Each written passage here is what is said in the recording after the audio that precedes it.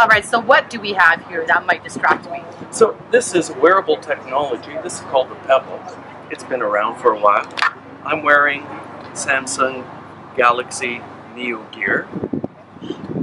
This you're going to put on, and you're able to get uh, text messages, uh, audio messages. You can answer your phone from this watch.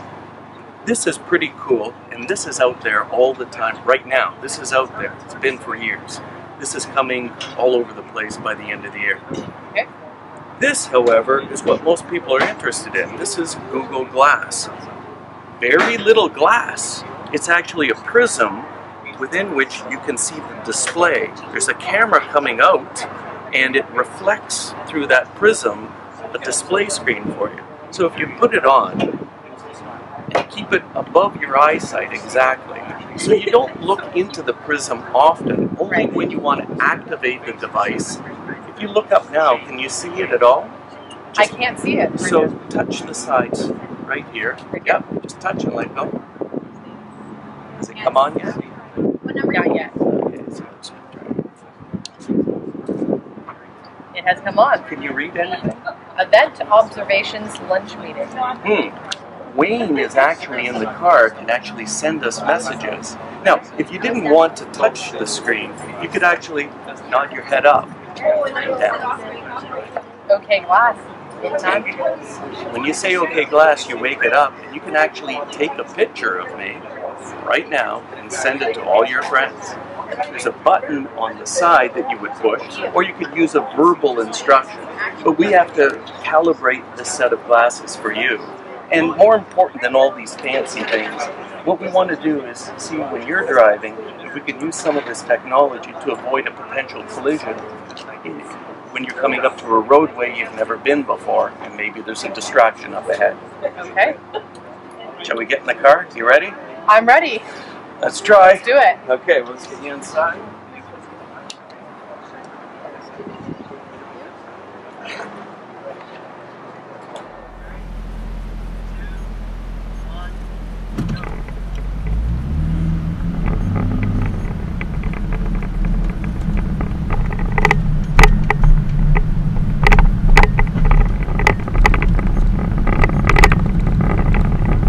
Um, sure. Sure, let's hang out for dinner.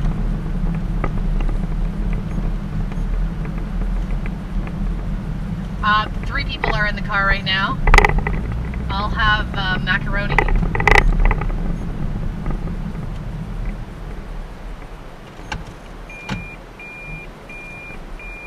Uh, what movie? No. Sorry. It's okay. That's fine. You're not a little distracted, are you? Maybe just a tad bit.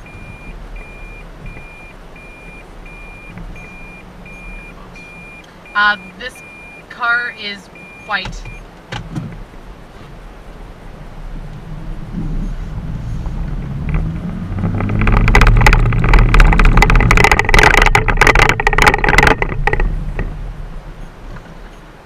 Wow.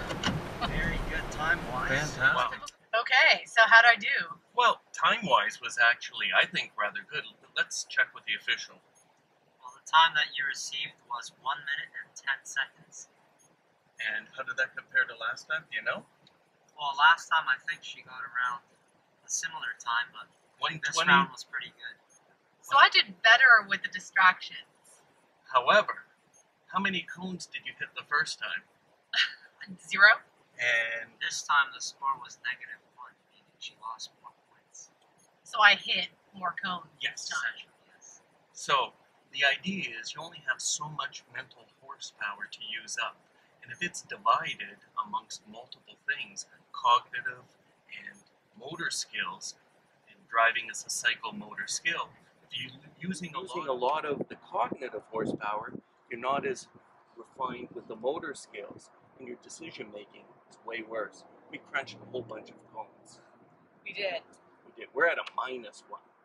So the idea is that the information that you received were interesting messages. What were some of the questions?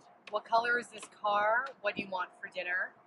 So those are important somewhat, but not enough to be hitting a car or a per- person.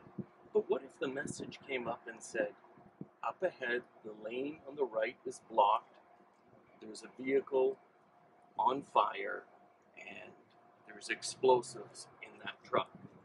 Then you would turn off at the next exit. That would be an appropriate message It could be very important at that point in time. So you're saying that these glasses, despite distracting me because I hit the cones, you're saying that these glasses could potentially be helpful on the road as well. It's technology. It's what we do with the technology. And it's the interface between new technology and new drivers. That's what Young Drivers of Canada is trying to tell everyone. This technology is coming. It isn't going away. We need to make sure that that interface between new technology and drivers is a smart one. And so, yes, this technology could be very, very useful. However, someone better be paying attention to how it's used in the car with new drivers, let alone older folks like me, who have never really used a mouse up until a few years ago. Gotcha. So hard to say then, would you recommend using these while driving? This is a wonderful toy. I would really think twice before you actually take this type of technology on the roadway. If you're one of those people who has the number 12 flashing on your VCR at home, you shouldn't be taking this technology in the car. We require more research, and that's what we're doing in collaboration with the U of D and with many other companies. That's what Young Drivers is doing now. So we're trying to be that interface between new technology and new drivers. Journey. But yet you also say that these could help you while you're on the road and make you safer. And Well, why? well, the reality is that technology could be used for good or evil. The good could be what if that message that came up was, was that up ahead, the lane on the right is blocked by a burning vehicle. And then you needed to pull over to the side of the road immediately, put on your all way flashers, and we got that message out to the next 10 cars that would have piled into one another. And that would be a brilliant use of technology, and everyone would say, hooray. However, if you're reading that you need to have macaroni for dinner tonight, and you end up taking your attention away and plow into the vehicle in front, and nine other cars hit you, that isn't smart. So, that interface between new technology and new drivers, that's what Young Drivers of Canada is trying to do. There, there's a huge gap there that someone needs to fill. I'm just trying to point the way to the future. Because this wearable technology stuff, it's, it, it's actually here. And by the end of the year, there's going to be thousands of these pieces of technology driving across the GTA.